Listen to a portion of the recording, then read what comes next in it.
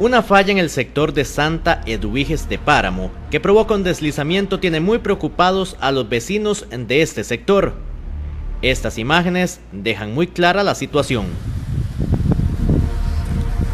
Tal vez como pueden ver está la parte donde se está lavando el deslizamiento. Al fondo pueden ver una, una casa.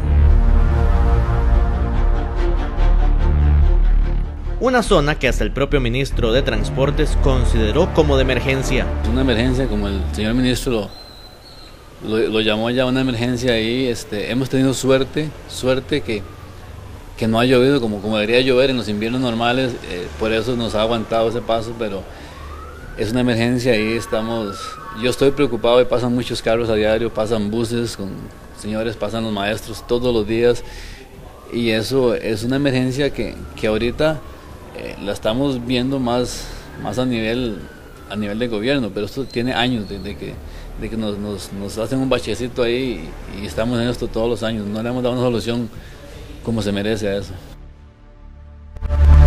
Pero además de conductores y personas que pasan por este punto, hay casas que las imágenes dejan claro que están en peligro. De hecho, detrás de la casa hay una grieta como de metro y medio y a, abajo, digamos, como al pie, donde pasa el, el caos en la quebrada, ahí hay una, hay dos casas que Dios quiere que nunca pase, pero en el momento que una bomba grande reviente ahí, se lleva esas casas y están habitadas, y hay seres humanos viviendo, tenemos que tener eso muy, muy presente. Esas hay tres, cuatro viviendas que necesitan ser reubicadas, casi que de emergencia.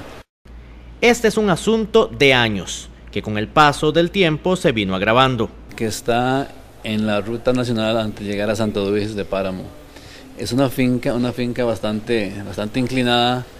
Eso todos los años hemos, hemos, hemos tenido los problemas eh, que tenemos ahora ella como que, como que es una, una, roca por debajo y le revienta agua, entonces siempre se está lavando y lavando. De hecho, el año pasado le hicieron un trabajo bastante grande, bastante grande de la Comisión de Emergencias y aguantó el verano. El invierno no lo ha aguantado. Es algo nuevo, ¿verdad? Es un deslizamiento que tiene ya varios tiempos de estar, eh, de estar activo en ese sector.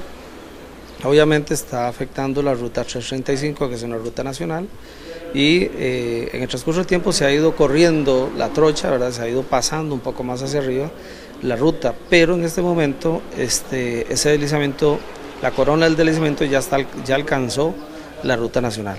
Eso significa que eh, hay, un, hay un momento en que la misma ruta presenta eh, desniveles.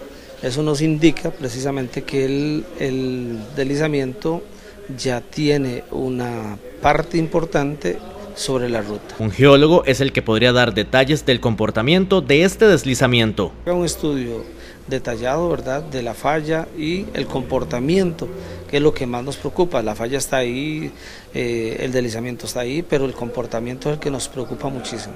Para las autoridades, los vecinos tienen la potestad de cerrar el tránsito cuando sientan que el peligro es muy alto. Esa carretera tenemos que cerrarla y habilitar un paso por cualquier otro lado, pero algo firme, algo macizo, donde no expongamos la, vida de los, de, los, de los que pasamos por ahí siempre.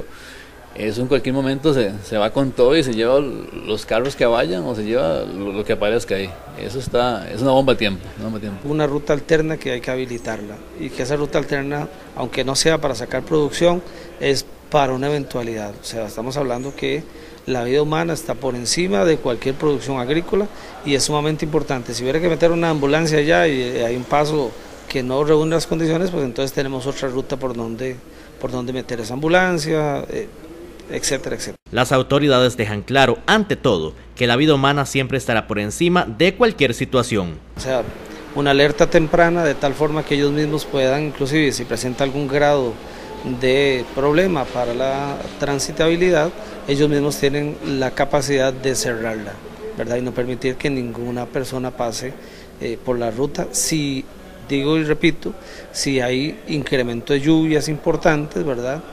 Toda la comunidad tiene que saber que tiene que tener muchísimo cuidado, que es un momento inestable, que hay un espacio inestable.